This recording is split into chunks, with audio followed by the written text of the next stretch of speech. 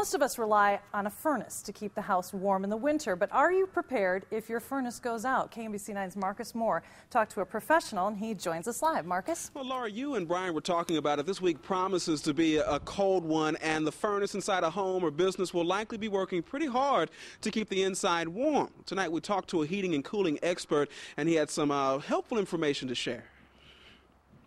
Jason Moore is with ABC Heating and Cooling. He says every season someone somewhere runs into trouble with their furnace. Maybe the pilot light has gone out, which he says on older furnaces, say 10 or 15 years old, can be relit with a match or gas lighter.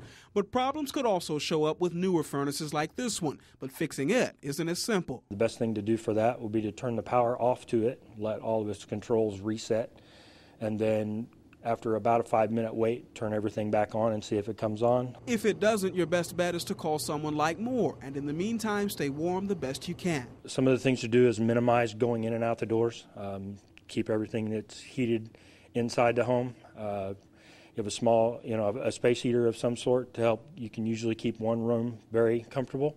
Uh, get everybody in that room, have a little slumber party. But there's one thing he says you should always avoid. Do not turn on a gas oven. Um, have a little problem. Uh, that is not a very good idea. Moore adds that newer furnaces may run for longer stretches of time, which he says is not something to worry about. The equipment is actually designed to be on. Um, if we minimize on and off cycles, it's actually less wear and tear on the equipment.